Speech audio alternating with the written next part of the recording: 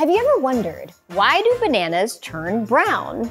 Well, today we are learning about this and so much more with my experiment, Brown Apples. Hi everyone, I'm Emily Calandrelli, MIT engineer and host of Emily's Wonder Lab. And on my channel, we learn about all things space and science. So grab your apples because this experiment is gonna be bananas.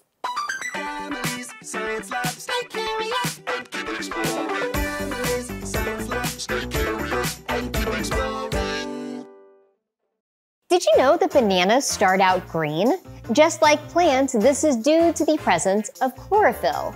As the banana ripens, the chlorophyll in the peel breaks down, revealing a yellow color underneath. This is similar to how leaves change color in the fall.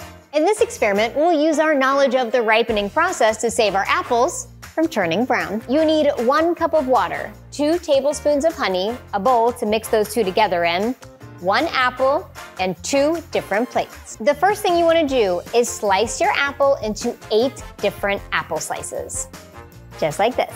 We are going to separate these onto our two plates, four slices here, and four slices here. This one is going to be what's known as our control. We're not going to change anything about these apples. They're just going to sit out naturally. But for these, we are going to use a honey solution to preserve them. To make your honey solution, just mix one cup of water with two tablespoons of honey. Gently mix that together. Once your honey is properly mixed, what we're going to do is soak our apples in the honey solution for about 30 seconds. Once it's been 30 seconds, go ahead and take your apple slices out, shake off any excess honey water, and then place them right back on your plate.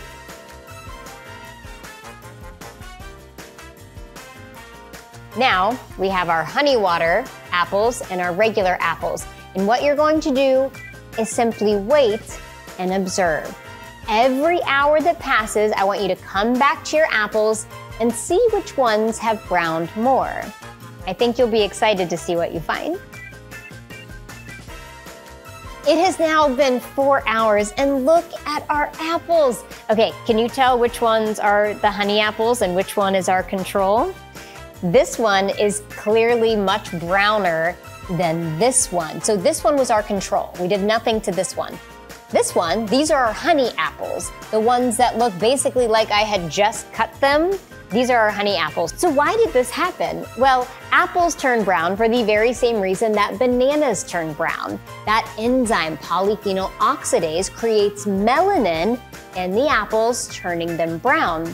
But here's the cool thing about honey. It contains a peptide that deactivates that polyphenol oxidase, slowing down the browning process and saving our apples over here from being too brown. And the cool part is that they don't really taste any different. They might taste a little bit sweeter, but they still just taste like apples. You haven't really changed your apples at all. You've just saved them from browning too quickly.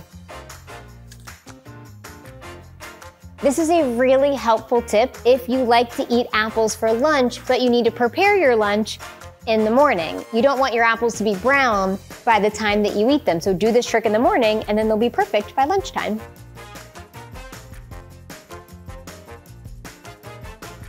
Thanks for making brown apples with me. If you like this one, be sure to check out my best-selling Stay Curious and Keep Exploring book series for 99 more science experiments. I'm Emily Calandrelli. Subscribe for all things science and space. And remember, stay curious and keep exploring. I'll see you next time. Science Lab.